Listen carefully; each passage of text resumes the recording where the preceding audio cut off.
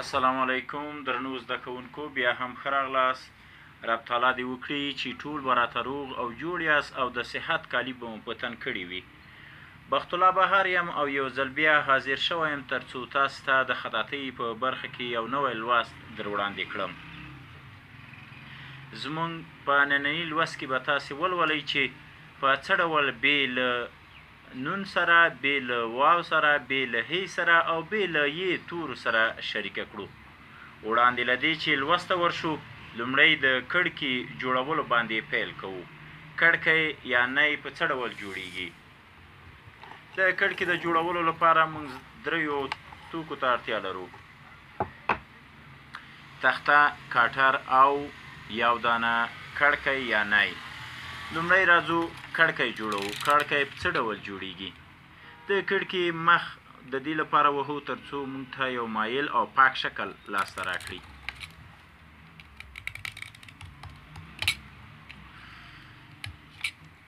له هغه څخه وروسته د کړکې عرض ټاکو، یعنې موږ تاسې که چېرې غواړو چې ډېره پلنه لیکنه وکړو نو عرض یې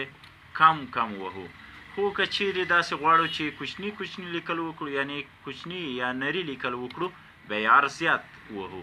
راځو ارزونه یې دواړه طرف ته د کړکي دواړه اړخونه وهو دا ډول له هغه وروسته د کړکي شاتنۍ برخه ځیږوو. له مشواڼۍ څخه د رنګ را اخیستلو پر وخت باید څومره چې زموږ رنګ په کار ده همغومره رنګ لاس ته راوړي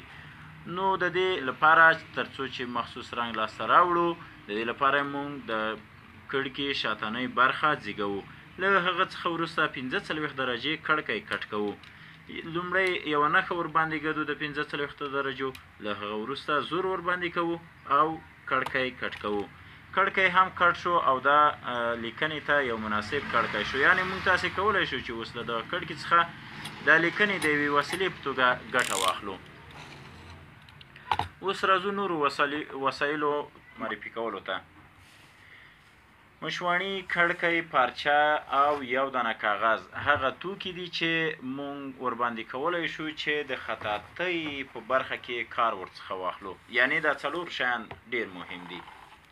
خو که چېرې تاسې د دغو توکو له کارونې سره علاقه نه درلوده او یا مو هم په ساحه کې نه درلودل، نو تاسو ته بیا یوه پارچه، یو دانه کاغذ،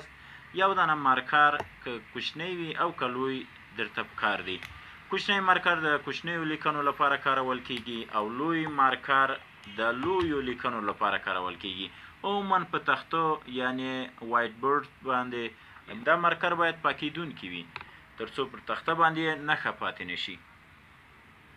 راځو د لوست پیل ته. زه خپل لوست د مشواڼۍ او کړکي په وسیله باندې تاسو ته وړاندې کوم. خدای تعالی دې وکړي ستاسو د خوښ او خوښې او پسند وړ وګرځي. راځو لوست ته له هغه څخه وړاندې زموږ د یوټیوب چینل سبسکرایب کړئ ترڅو تاسو وکولای شئ چې زموږ لوستونه په خپل معین وخت باندې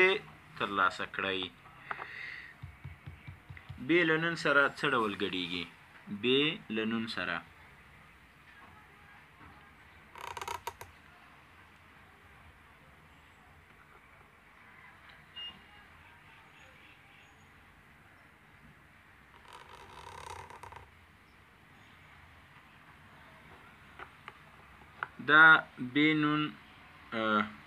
شو ت نون شو او همداشان نور توري فرض کړئ ث نون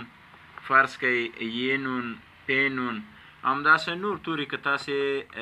دا لیکئ په دې ډول لیکلی شئ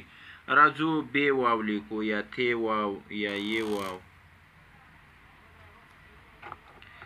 دومره چې لاړئ ته هغه وروسته دا حرکت ورکړئ دا بی واو شو یا یې واو یا پی واو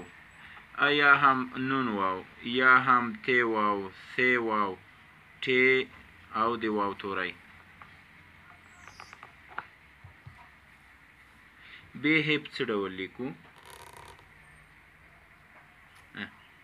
به ته سه همداشان نور توري چې همدا شکل ولري تاسو کولای شئ چې له دغه شکل څخه نور توري هم جوړ کړئ بې یې په څه ډول لیکلی کېږي دومره حرکت مو چې وکړ له هغه وروسته یو بل نوی حرکت پیل کړئ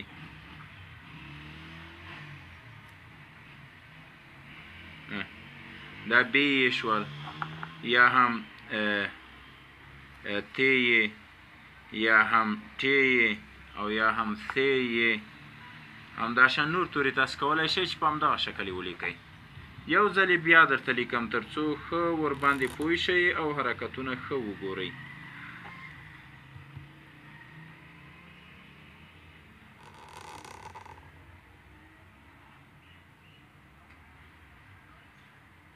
بینون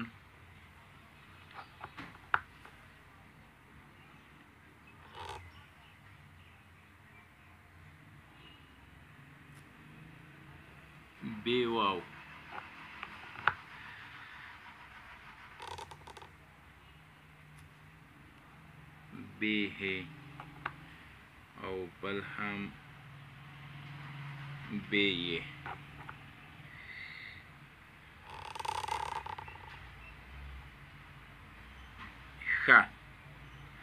مونږ نن د مرکباتو په برخه کې د بې توری پای ته ورسوو دا مزده کړل چې بې له الف بې تې تر یې پورې په څه ډول له یو بل توري سره ګډولی شو یعنی د بې توری مونږ زده کړ انشاءالله چې راتلونکي لوست کې به د حې یا د جوم توری په همدې شکل ولو حې یا جوم له بې سره د حې سره همدا شان تر یې پورې په څه ډول مونږ ګډولی شو دا به په راتلونکي لوستونو کې لولو هیله مند یم چې زمونږ د یوټیوب چینل سبسکرایب کړئ تر څو زمونږ د ټولو لوستونو څخه یو څه زده کړئ او خوند ترې واخلئ تر بیا ښې چارې د الله پامان